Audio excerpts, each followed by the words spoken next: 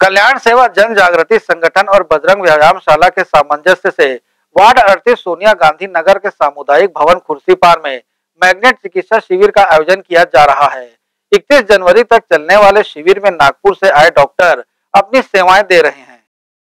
Ward अड़तीस सोनिया गांधी नगर के सामुदायिक भवन में असाध्य रोगों के इलाज के लिए मैग्नेट चिकित्सा शिविर का आयोजन किया गया है। 31 जनवरी तक चलने वाले शिविर में समस्त नए और पुराने रोगों का चुंबकीय पद्धति से इलाज किया जा रहा है। नागपुर से आए चिकित्सक वी आर रामटेके शिविर में अपनी सेवाएँ दे रहे हैं। मात्र सौ रुपये रजिस्ट्रेशन फ़ीस लेकर दस दिनों तक विभिन्न बीमारियों का इलाज किया जा रहा है। शिविर का लाभ उठाने यहाँ काफ़ी संख्या में लोग पहुँच रहे हैं। शिविर का उद्घाटन साईं बाबा की पूजा अर्चना के साथ किया गया। शिविर की जानकारी डॉक्टर वी आर रामटेके और कल्याण सेवा जन जागृति संगठन के सुमन शील ने दी। विलास रामटेके महाराष्ट्र नागपुर। भव्य मैग्नेट थेरापी शिविर का आयोजन। इस शिविर में सभी प्रकार का मैग्नेट थेरापी से इलाज किया जाएगा। जैसे घुटने का दर्द हो, कमर दर्द हो, डायबिटीज़ हो, यानी सभी प्रकार का जो भी दर्द है, उसका इलाज किया जाएगा। जैसे मैग्नेट थेरापी एक प्राकृतिक चिकित्सा पद्धति है।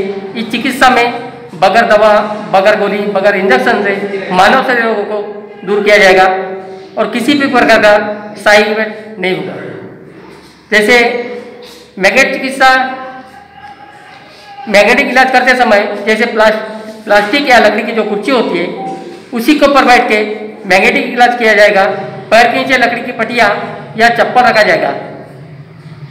मैग्नेटिक बेल्ट जैसे मैग्नेटिक इंस्ट्रूमेंट शरीर पे कोई भी अंग पे मैग्नेटिक इंस्ट्रूमेंट लगा के बैठना है और उसी प्रकार का मैग्नेट थेरापी का ट्रीटमेंट किया जाएगा।